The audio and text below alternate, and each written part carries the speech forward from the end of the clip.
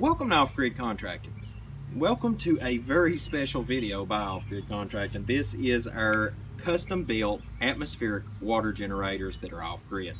Now, um, this one here we've been testing for a while and I also custom built this one to look like a GX8 moisture evaporator off the desert world of Tatooine off Star Wars um, because, well, I don't really care for Star Wars anymore. Um, for various reasons, but when I was a kid, I was impressed by the technology.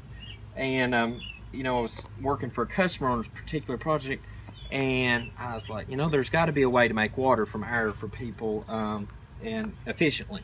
And so we found a way. And the other reason that this prompted me to build this, and then I'm going to get into all the bells and whistles of how this works, is that we have found working across the country for people that um, rain catchments are illegal in a lot of places. And um, for the life of me, I can't understand why it's illegal to have the water that comes from the heavens above. But we have found that there's not a law on the books anywhere in the world for taking the air from a molecular level and pulling it out and then making it into water. So that's exactly what we've found a way to do. And uh, I'll start going over that right now. Is this particular unit, the actual function is built in the box right here and then the actual uh, collection area right there which is a retrofitted um, uh, cooler just one simple five gallon water cooler and we have a AcuRite weather station up top so you can actually monitor this thing remotely from inside your home.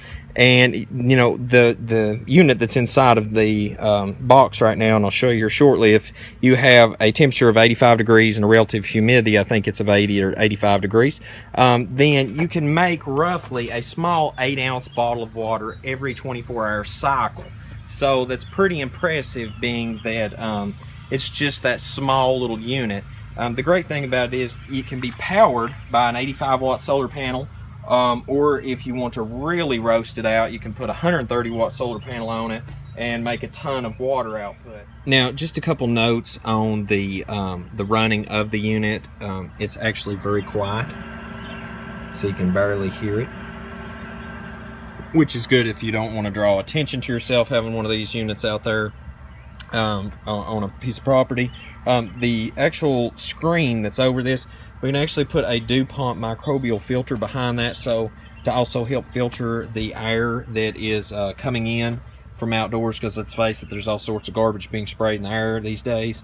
Um, and you know that that's just a, a further shield to you um, for that. Now the solar panels, um, if you want to check the iCard link right there where we've done portable solar generators, um, and continue to do those for customers for different applications where they can roll. Uh, we fix the panels where that they actually have folding uh, leg brackets on that so we can do that with these panels um, for the atmospheric water generators unless you're going to do a large system um, which will require um, you know 500 to 1000 watts so that's obviously going to take up um, and, and, need actual solid mounting. Now this particular solar system uh, we get from Hurricane Wind Power. These are synthesis solar panels. Um, really great solar panels. So you can also have a weather station built on the box. You don't have to have all this extra stuff. This is just for aesthetics to make it look 60% to scale like the uh, Star Wars moisture evaporator. Now the box is actually built out of Lexan glass. This stuff is hard to grind, hard to drill. You, you can't even shoot through it practically. It's um, bulletproof, pretty pretty thick stuff. Uh, we went above and beyond to build this to last. Um, we also have hooks down here so you can anchor this thing down, even the smaller ones that don't have all this on it, so in case you're in a high wind environment, it won't blow away. So without further ado, we'll open this up, and here is the bells and whistles. We've got our solar coming in um, through a charge controller. Now, when it comes to EMP, the reason we went with 85 watt solar panel is with the load that we have in the battery to buffer it. Worst case scenario, EMP fries everything. You still have the option that the solar will carry through the battery and charge the um, uh, power the DC unit, which we'll get into in just a second. This has a solid state relay that will run the um, dehumidifier up until a cutoff point, which will give a long life to the battery and also not damage the battery, but also let it run late into the hours of the evening when humidity is very high, especially in the summer. Um, we also have a 35 amp hour battery built on board. Um, this dehumidifier unit has been custom fabricated with a fitting allowing it to pass through and drop down into the, the five gallon collection so you can see how much water you have in there.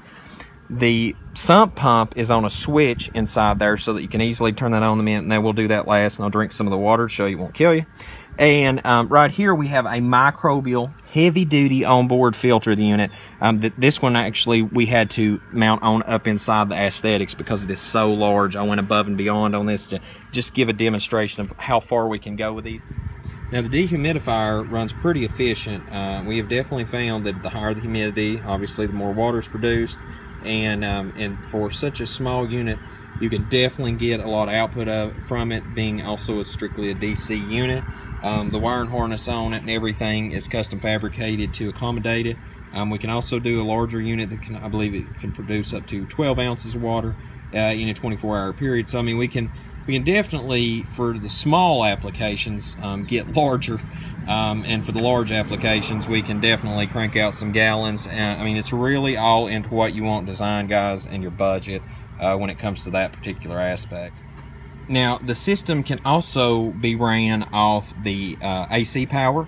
Um, we have a 6 amp uh, charger unit that can actually be uh, affixed into the inner wall here that will join into the battery bank and you have the AC plug drop out right here.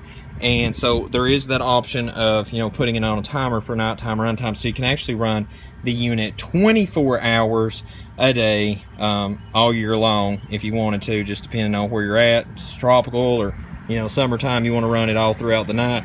There's a lot of application there, um, you know, for that. If you had an additional solar system or off-grid power and then you just wanted to run that, um, you know, off that at night because the limitations of the battery capacity on this particular unit.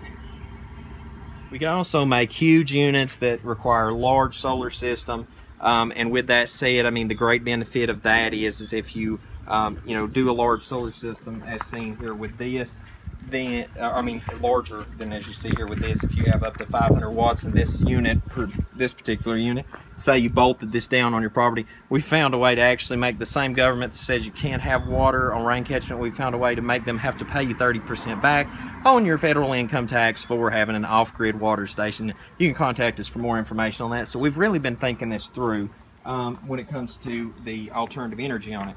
Now, as far as the dehumidifier goes, like I said, it can make about eight to eight and a half ounces of water over a 24 hour cycle.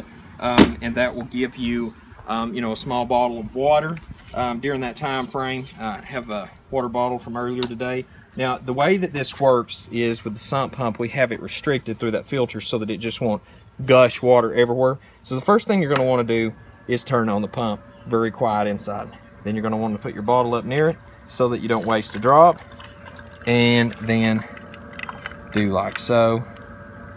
That way it don't go everywhere. Um, we, we've really tried to restrict the water flow down because we don't want to waste a drop. Uh, water is precious. And then let me drink this. Uh, what you want to do is turn your drain cock off turn the pump off and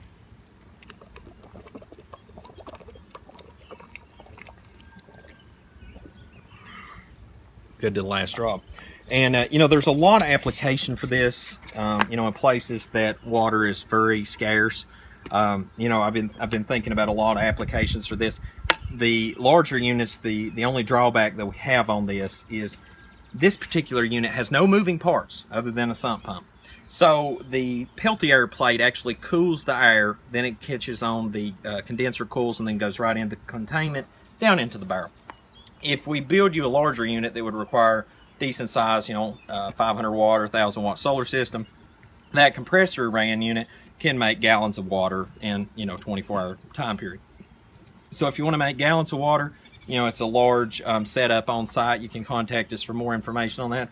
If you want one of these that are portable to set up, this particular unit costs $1,200 to make. Now, about $300 that was just aesthetics.